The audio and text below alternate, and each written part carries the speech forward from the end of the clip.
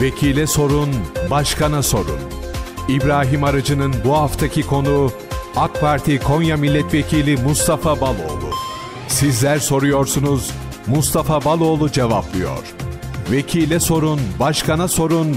Cumartesi akşamı Kon TV'de.